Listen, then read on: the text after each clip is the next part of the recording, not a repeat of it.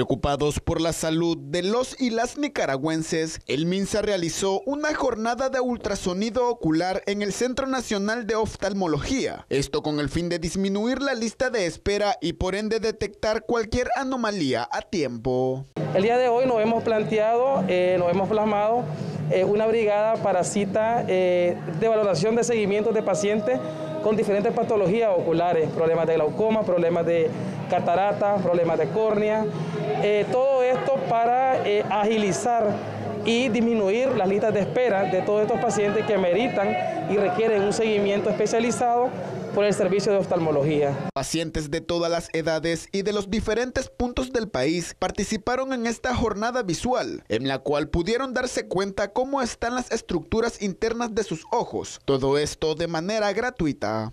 La idea, el objetivo, como les mencionaba, es agilizar los procedimientos y todos aquellos pacientes que necesiten alguna terapia quirúrgica, por ende agilizarle la misma para darle una respuesta más beneficiosa al paciente, más rápida y eh, que la población nicaragüense se sienta atendida con calidad, con la cualidad, como le mencionaba. Los protagonistas expresaron estar muy agradecidos por esta oportunidad, ya que este examen es muy costoso y por su cuenta sería imposible para ellos realizárselo.